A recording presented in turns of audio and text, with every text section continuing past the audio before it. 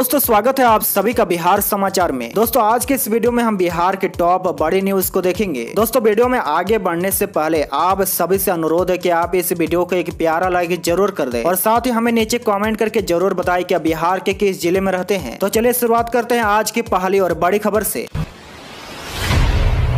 बड़ी खबर में देखिए बिहार के अफसरों की टीम तमिलनाडु पहुँची। जहाँ देखिए तमिलनाडु में बिहार के लोगों की स्थिति से अवगत होने के लिए यहाँ के चार वरीय अधिकारियों की टीम वहाँ पहुँच गई है। इसमें ग्रामीण विकास विभाग के सचिव डी बाला मुर्गन सीआईडी के आईजीपी कनन, श्रम संसाधन विभाग के आयुक्त आलोक कुमार और एसटीएफ के एसपी संतोष कुमार शामिल है।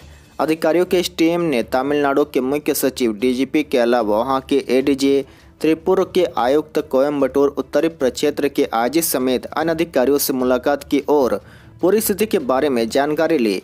यह टीम वहाँ के प्रभावित इलाकों, त्रिपुर और कोयम्बटूर में रह रहे बिहार के मूल के लोगों से भी मुलाकात करेगी और उनसे मौजूदा हालात से जुड़ी वास्तविक जानकारी लेगी। साथ ही बिहार के निवासियों से उनकी समस्या भी जानेगी ताकि पूरी हकीकत मालूम हो सके। वहीं देखिए, बड़ी खबर में कोयम्बटूर पुलिस द्वारा बिहारियों के लिए हेल्पलाइन नंबर जारी। जहाँ देखिए कोयम्बटूर प्रशासन ने बिहारी मजदूरों की सहायता के लिए हेल्पलाइन नंबर जारी कर दिया है। प्रवासी मजदूर के लिए कोयम्बटूर जिला प्रशासन की ओर से कई फ़ोन और मोबाइल नंबर जारी किए गए हैं। प्रशासन के विज्ञापित में कहा गया है, किसी भी समय ज़रूरत पड़ने पर प्रवासी इन नंबरों पर संपर्क कर सकते हैं। ये नंबर है zero four triple two three double zero nine seven zero nine four nine eight one eight one two one three eight one nine double zero double zero one double zero nine four nine eight one eight one two one two double seven zero eight one double zero one double zero बाहरी मजदूर की सुरक्षा के लिए दूसरी व्यवस्था भी की गई है। कहा गया कि सभी नियोक्ता जिन्होंने बाहरी राज्य के श्रमिकों को काम पर रखा है, वे बाहरी राज्य के कर्मियों के लिए विशेष रूप से बनाए गए।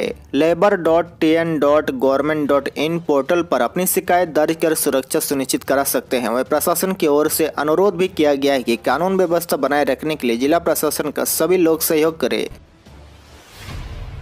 बड़ी खबर में देखिए, पूर्व सांसद मीना सिंह बीजेपी में हुई शामिल। एक दिन पहले छोड़ी थी नीतीश की जेडीयू जब देखिए, बिहार के आरा से पूर्व सांसद मीना सिंह बीजेपी में शामिल होगी। एक दिन पहले ही उन्होंने मुख्यमंत्री नीतीश कुमार की पार्टी जेडीयू से इस्तीफा दिया था। बीजेपी के प्रदेश अध्यक्ष संजय जायसवाल ने शनिवार को मीना सिंह के पार्टी में शामिल होने की पुष्टि की है। वह जल्द बीजेपी की सदस्यता ग्रहण करेगी।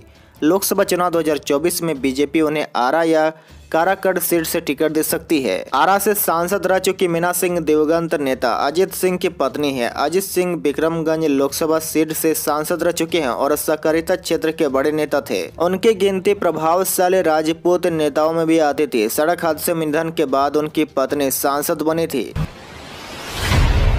बड़े खबर में देखिए, कुशवाहा का बड़ा दावा खत्म होने वाला है। जेडीयू का अस्तित्व नीतीश का साथ छोड़ेंगे जेडीयू के कई नेता। जब देखिए जेडीयू से अलग होकर नई पार्टी बनाने के बाद उपेंद्र कुशवाहा इन दिनों बिहार यात्रा पर निकले हैं। विरासत बचाओ नमन यात्रा के ज़रिए कुशवाहा घूम घूम कर सरकार की नाकामियों को जनता के सामने उजागर कर रहे हैं। मधेपुरा पहुँचे उपेंद्र कुशवाहा ने एक बड़ी भविष्यवाणी कर दी है।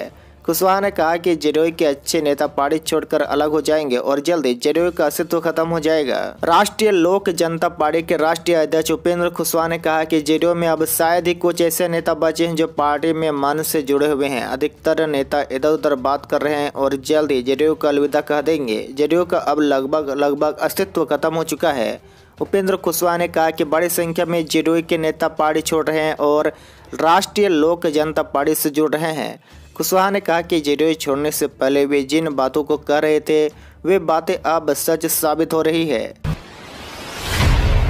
बड़े खबर में देखिए तमिलनाडु में बिहार पर हमले के खिलाफ जाप का धरना। तमिलनाडु भवन का घेराव करेंगे पप्पू यादव। जब देखिए तमिलनाडु में बिहार पर हमले के खिलाफ पटना के गर्दनी बाग में जन अधिकार पार्टी द्वारा एक दिवसीय धरना का आयोजन किया गया। इस दौरान जाप के कई कार्यकर्ताओं और समर्थक जमकर प्रदर्शन किए वहीं जाप राष्ट्रीय अध्यक्ष पप्पू यादव भी तेजस्वी यादव और नीतीश कुमार पर खूब बरसे। पप्पू यादव ने कहा कि भाजपा को बिहारियों के स्वाभिमान की बात करने का कोई अधिकार नहीं है। तमिलनाडु सहित भाजपा शासित प्रदेश में लगातार बिहारियों पर हमला किया जा रहा है। नीतीश कुमार के साथ भाजपा और राजद दोनों सरकार चला रही है, लेकिन दोनों ने बिहार वासियों की भावना के साथ खिलवाड़ किया है।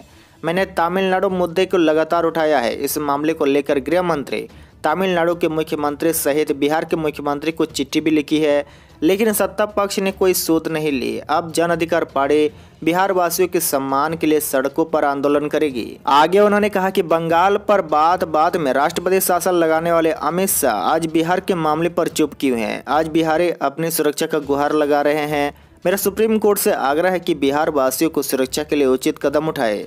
अगर प्रदेश के लोगों पर हमले नहीं रुके तो पार्टी तमिलनाडु भवन का घेराव करेगी।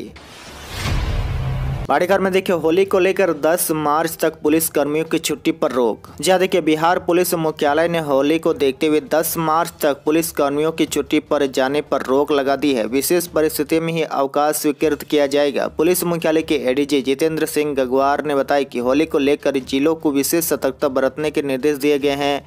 राज्य के सभी जिलों में अतिरिक्त पुलिस बलों की तैनाती की जा रही है। शांति समिति की बैठक की जा रही है। वह जिला स्तर पर पुलिस बलों के साथ दंड अधिकारी क्यूक रिस्पांस टीम, मेडिकल दलों आदि की तैनाती की जा रही है। बाड़ीकर में देखिए, एनएच पर 10 फ़ीसदी तक बढ़ेगी टोल दरें। जब देखिए, एक्सप्रेसवे और नेशनल हाईवे पर सफ़र महँगा किए जाने की तैयारी है। आगामी पहली अप्रैल से national highway authority of India की तरफ़ से टोल दरों को बढ़ाया जाएगा। इस बार पाँच से दस फ़ीसदी तक टोल दरों में इजाफा हो सकता है। वहीं टोल दर बढ़ाने के लिए एनएचआई की परियोजना क्रियान्वयन इकाई काम कर रही है। 25 मार्च तक सभी पीआईओ से संशोधित टोल दरों का प्रस्ताव भेज दिया जाएगा, जिन्हें सड़क परिवहन मंत्रालय की मंजूरी के बाद लागू किया जाएगा। कार एवं हल्के वाहनों के लिए टोल दरें पाँच फ़ीसदी बढ़ेगी और भारी वाहन के लिए दस फ़ीसदी तक बढ़ने की संभावना है। बाड़ीघर में देखिए, शहरी क्षेत्र में तीन व ग्रामीण में चार श्रेणियों में होगा ज़मीन का निबंधन। जब देखिए, पटना शहरी क्षेत्र में ज़मीन, मकान, फ्लैट, दुकान, ऑफ़िस और ग्रामीण क्षेत्र में कृषि योग्य भूमि का निबंधन अब महँगा होगा। हालाँकि पहले से तय एम दर में बढ़ोतरी नहीं होगी, लेकिन विभिन्न प्रकार के श्रेणियों को एक करने से, जहाँ दस्तावेज़ के निबंधन कराने में सहूलियत होगी तो वहीं एम की दर, पहले की दर से अधिक हो जाएगी। ऑफ़िस या दुकान, इनके निबंधन के लिए एक एमबीआर दर और एक श्रेणी होगा। पहले व्यावसायिक क्षेत्र में दो श्रेणी थे, जिसे अब एक कर दिया गया है। अब शहरी क्षेत्र में तीन श्रेणी होगी, जिसमें व्यावसायिक, आवासीय और औद्योगिक शामिल है।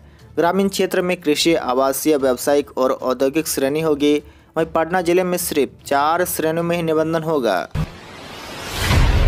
बाड़ीखर में देखिए, बिहार के कॉलेजों व विश्वविद्यालय को नेक मान्यता को मिले और तीन माह। जहाँ देखिए, राष्ट्रीय मूल्यांकन एवं प्रतिदान परिषद मान्यता के लिए राज्य के कॉलेजों और विश्वविद्यालय को बड़ी राहत मिल गई है। परिषद ने नेक मान्यता के लिए वार्षिक गुणवत्ता आश्वासन रिपोर्ट अपलोड करने के लिए तीन माह की अवधि बढ़ा दी है। अब उच्च शिक्षण संस्थान इकतीस मई तक नेक मान्यता के लिए एक अपलोड कर सकेंगे। दरअसल, यह अवधि अट्ठाईस फरवरी को ही खत्म हो चुकी थी, लेकिन संख्या में सूबे के कॉलेज और विश्वविद्यालयों ने आवेदन नहीं किया था। उन्हें एक और अवसर प्रदान किया गया है। यही नहीं, वे अपने शैक्षणिक संस्थान का वर्ष 2016-17 से वर्ष 2021-22 तक की अवधि का एक तैयार कर सकते हैं। आपको बता दें कि पिछले दिनों प्रदेश के सौ से अधिक कॉलेजों और विश्वविद्यालयों ने नेक मान्यता के लिए रुचि दिखलाई थी, लेकिन बड़ी संख्या में कॉलेज छूट गए थे। इस समय सूबे में दो सौ बहत्तर सरकारी व तीन सौ निजी कॉलेज है। इनमें अभी केवल इकचालीस ही नेक से मान्यता प्राप्त है।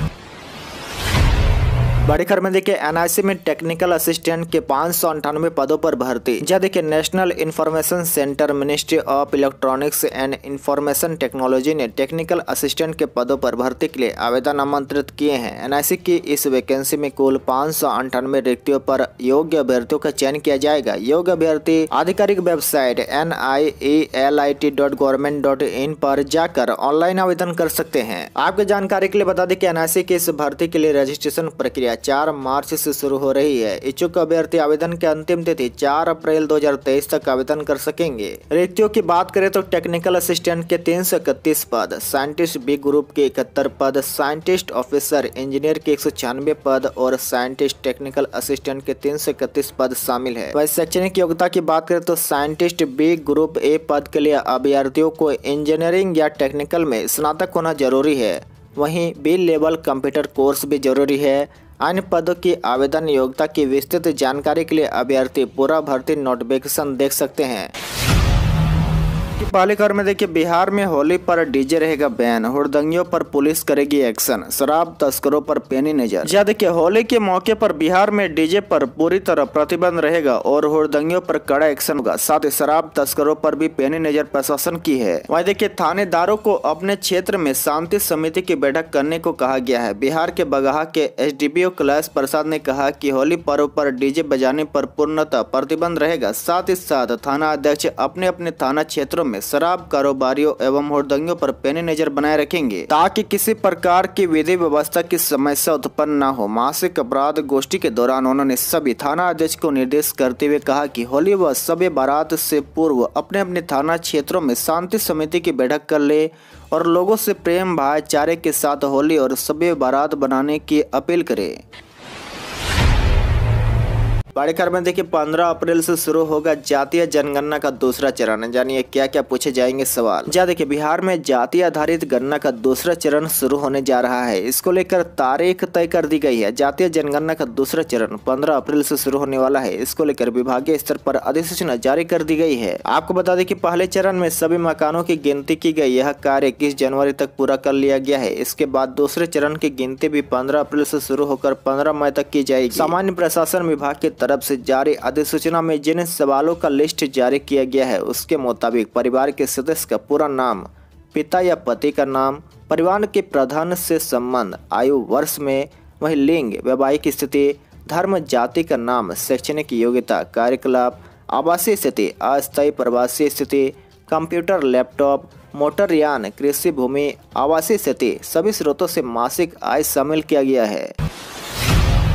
बड़े खबर में देखिए पटना समेत प्रदेश के 18 जिलों का तापमान बढ़ा। जहाँ देखिए, राजधानी समेत प्रदेश के मौसम का अलग अलग रंग देखने को मिल रहा है। प्रदेश के दक्षिणी भागों के अधिकतम तापमान में आंशिक वृद्धि हुई है तो वहीं उत्तरी भागों के कुछ जिलों में तापमान में आंशिक गिरावट भी आई है। पिछले 24 घंटे में पटना समेत प्रदेश के 18 जिलों के अधिकतम तापमान में वृद्धि दर्ज की गई है, चौतीस दशमलव एक डिग्री सेल्सियस के साथ औरंगाबाद में प्रदेश का सर्वाधिक अधिकतम तापमान दर्ज किया गया है। वहीं मौसम विज्ञान केंद्र के अनुसार होली के दौरान प्रदेश का तापमान सामान्य बना रहेगा, वहीं तापमान में पाँच दिनों के दौरान कोई विशेष बदलाव के आसार नहीं है। इस दौरान पछवा हवा की गति में आंशिक वृद्धि हो सकती है।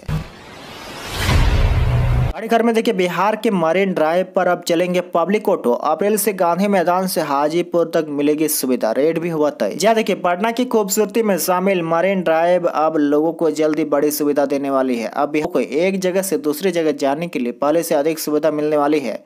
दरअसल गांधी मैदान से गंगा पाथवे होते हुए दीघा, सोनपुर और हाजीपुर स्टेशन तक अप्रैल माह से ऑटो का परिचालन किया जाएगा।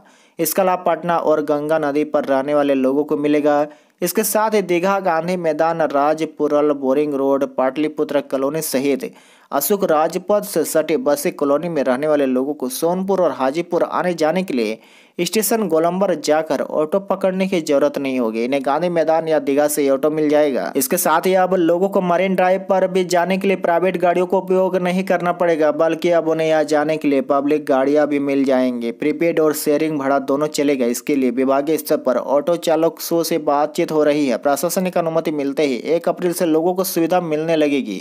आज के लिए बस इतना ही। इसी तरह बिहार के डेली न्यूज़ देखने के लिए आप हमारे चैनल को ज़रूर सब्सक्राइब करें।